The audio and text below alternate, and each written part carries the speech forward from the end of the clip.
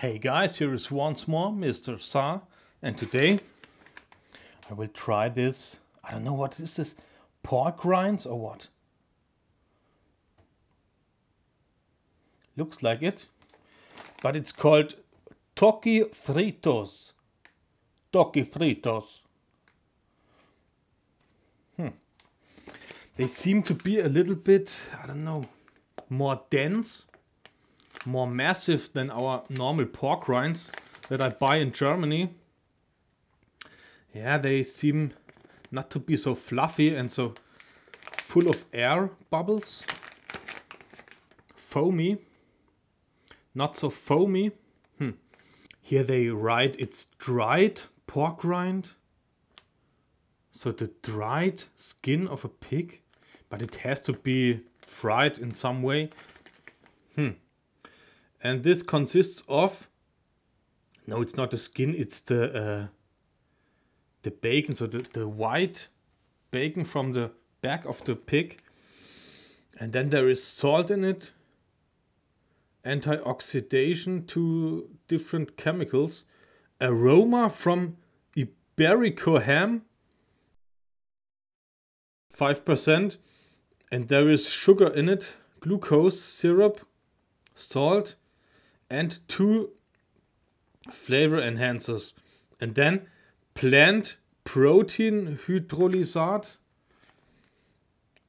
and smoke. Oh, I thought this would be a natural snack in some way, maybe just made out of pork and salt, like our German stuff, but that's not the case here. Let's open this with my Leatherman and pour it on the plate. Then I show you from near. So this is it. Looks pretty fatty, if you ask me.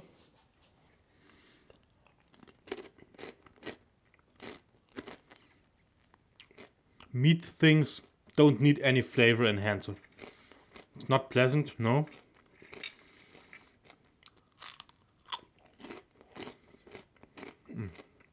The seasoning is not good. There's strange flavors in it. The consistency could be good if it was just high quality stuff, only pork and salt. But this here, no. It's fatty and together with, with those aromas and other stuff.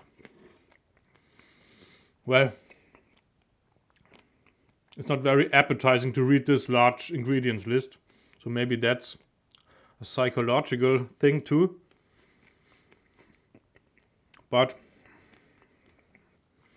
I think it's okay, you can eat it, but hmm.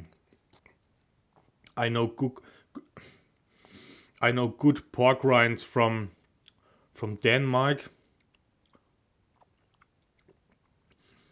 and from Germany and they are much better. And this flavor enhancer. It just is in your whole. It's in my entire mouth, and it's not good. It's like those uh, chicken roasters on the street. They put lots and lots of flavor enhancer on it.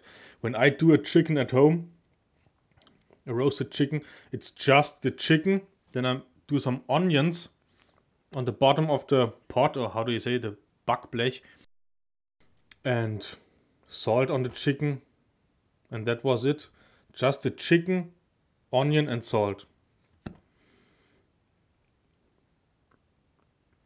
Because meat doesn't need a flavor enhancer. Here or here, more videos of me. Very disappointing.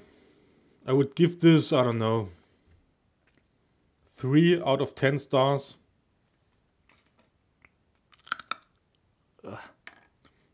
Bye people. And by the way, it tastes sweet and it shouldn't taste sweet.